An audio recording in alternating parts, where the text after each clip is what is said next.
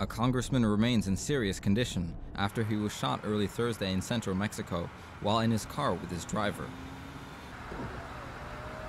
Gunmen approached Ramon Montalvo's vehicle as it drove through the city of Valle de Chalco and opened fire.